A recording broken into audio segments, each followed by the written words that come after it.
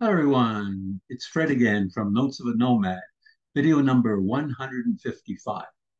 Just want to update you as what's going on in my life in the past week and what's happening in the next few days.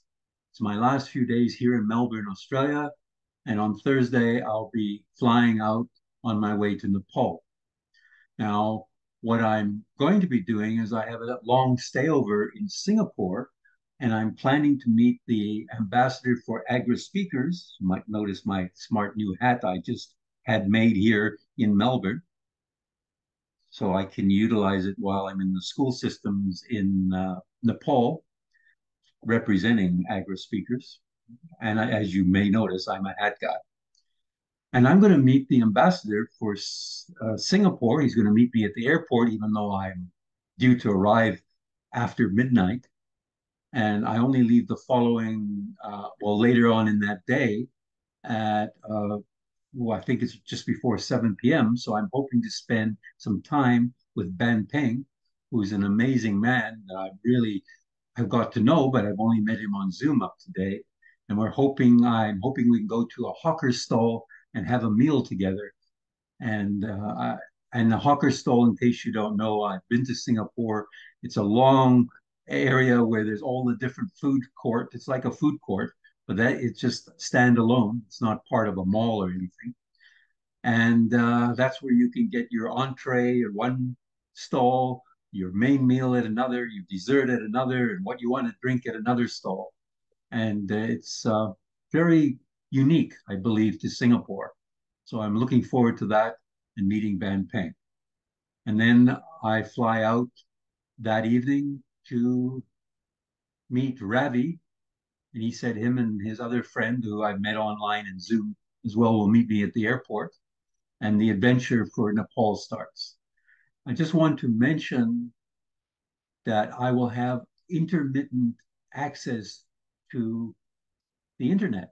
And that will cause me having no ability to have phone calls or attend Zoom meetings until when I get back to Canada, the beginning of May.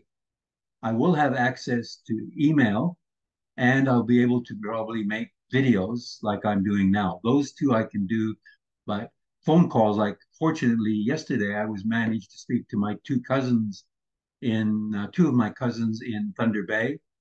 Eileen, uh, my cousin, is on her way today, on their way to Arizona with her husband, Florin. And I spoke to my other cousin, who's 82, I think turns 83 uh, this year, Raymond, and uh, he's changed. It's been a couple years since I managed to speak to him.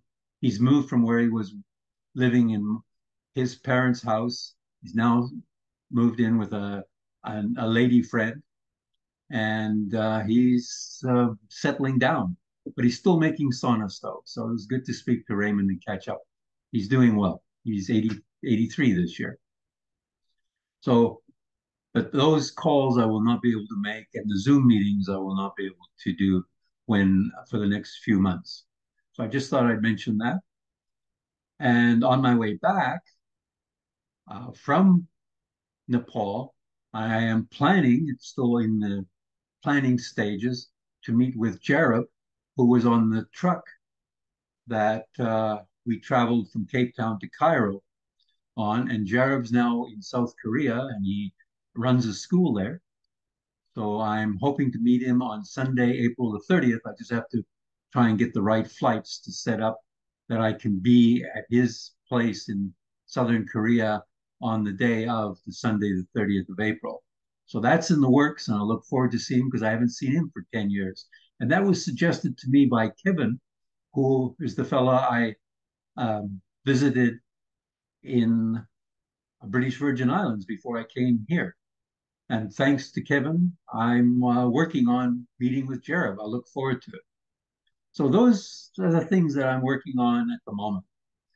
So I just want to reiterate why I make these videos for two reasons. The one reason is I often get people saying, Fred, where are you? What are you doing? Are you still alive? And I used to have to write emails. This way I can do a video on a regular basis, probably once a week. So far, I've been doing it once a week. people can say, oh, he's still doing videos, so he's still alive. And they might watch it and say, oh, let's see what he's up to and what he's thinking about, what he's doing. And the second reason I do these videos is for my future descendants, because great, I just had a meeting earlier this morning with um, a fella at Toastmasters, and he I said, "Oh, if I was in a park bench and I could invite someone to speak to, it would be my great grandfather." The reason was his great grandfather came from Oklahoma by stagecoach, and I don't know the 1800s or so on, and came to Fort Calgary in, you know, which is now Calgary, and there was 800 people in Fort Calgary when he first came from Oklahoma to Alberta and now the city is over 1.6 million people. But he would love to talk to his great grandfather. And so I make these videos so a future descendant can say, What happened and what was going on with my great grandfather? And say, Wow, times have changed so much since, you know, the 1940s to the early 2000s. Wow, life is so different.